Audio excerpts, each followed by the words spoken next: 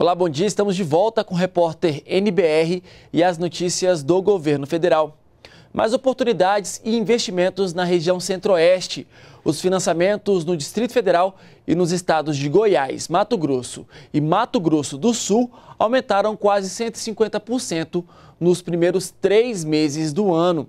Os recursos são do Fundo Constitucional, que é administrado pelo Ministério da Integração Nacional. Há cinco anos, Felipe decidiu entrar para o ramo da culinária. O sucesso veio rápido. Para ampliar o negócio, o empresário precisou de financiamento e encontrou no Fundo Constitucional de Financiamento do Centro-Oeste a opção com juros mais baixos e o maior prazo para quitar a dívida. No ano de 2014, a gente pegou o fundo, a gente pegou o investimento do, do UFCO para fazer tanto mais uma loja, que foi a primeira loja de shopping nossa,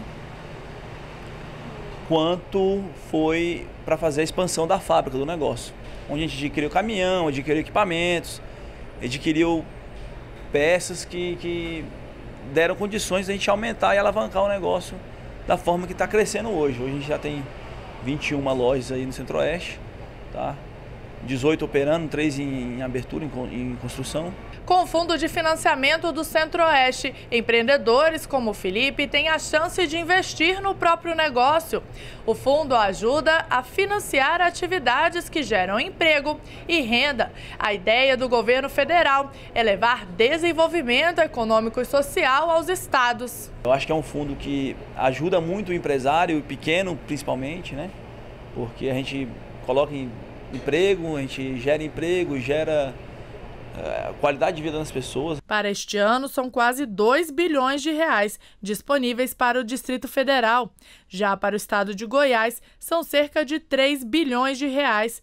O mesmo valor pode ser tomado por investidores do Mato Grosso.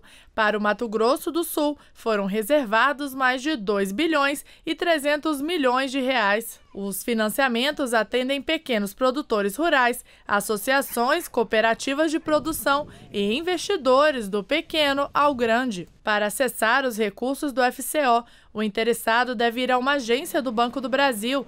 É preciso ser correntista do banco, o gerente que vai informar quais os documentos necessários para a definição do limite de crédito. Danube apresentou seu projeto em 2015 e conseguiu de imediato a aprovação do crédito. Realizou seu sonho de transformar uma pequena escola em um berçário. A gente vê muitas creches, porém não vê berçário. E as crianças menores exigem tudo diferente. Aleitamento, a parte de, de alimentação. O juro é muito bom, é muito pequeno, né? Eles te dão um tempo de carência. Até dois anos para você poder pagar o, o preço né, começar a pagar a mesma quitação das parcelas. Hoje, Danúbia emprega 17 pessoas, atende a cerca de 100 crianças e pretende crescer ainda mais. A gente tem mais, mais projetos aí para ser é, desenrolados, né, que a gente consiga conquistar. E se tudo der certo, o nosso próximo passo será, sim, buscar novamente outros recursos dentro do, do banco, né? E a reforma da Previdência foi tema de um debate promovido por um jornal aqui de Brasília. O encontro teve a participação de ministros, técnicos e representantes de fundos de pensão. O debate reuniu parlamentares, técnicos e representantes do governo. O ministro do Planejamento disse que o Brasil tem uma série de problemas para resolver, mas as mudanças nas regras para se aposentar são as mais urgentes. Primeiro, porque o sistema enfrenta saldos negativos crescentes, como o de 150 bilhões de reais registrado no ano passado. Segundo, porque a reforma pode ajudar o país a estabilizar a economia, permitindo que ela volte a crescer. E terceiro, porque o governo vai ter mais dinheiro para outras áreas. Hoje nós temos uma situação onde a Previdência está levando 55% do orçamento público federal. Então nós estamos gastando demais com previdência e muito pouco com investimento, com educação e com saúde. O ministro do Planejamento também defendeu que as mudanças na Previdência devem ser feitas neste momento, porque o governo ainda pode escolher a melhor reforma que deseja fazer, preservando direitos e não cortando benefícios.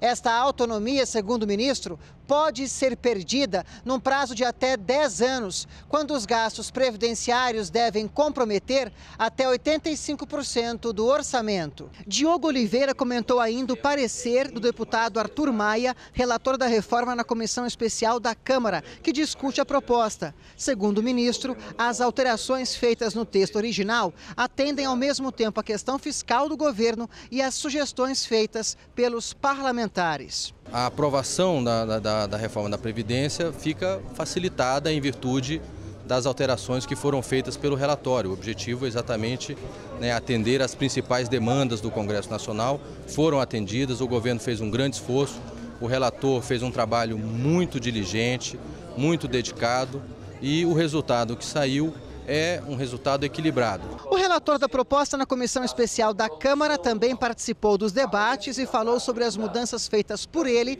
na proposta.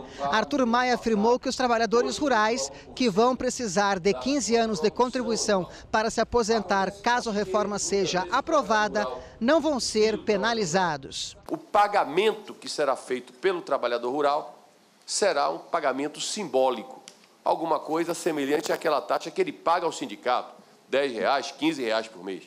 Para se ter ideia do que isso significa, gente, imagine alguém que, um trabalhador rural que pague 10 reais por mês ao, ao, ao INSS, vai pagar 120 reais por ano. E ao longo de 15 anos, ele vai pagar 1.800 reais.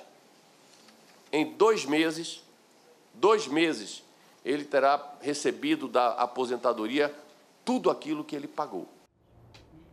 E nós ficamos por aqui, voltamos às 11 da manhã na próxima edição do Repórter NBR. Outras notícias você acompanha também em nossas redes sociais. Um bom dia para você, continue com a gente aqui na NBR, a TV do Governo Federal.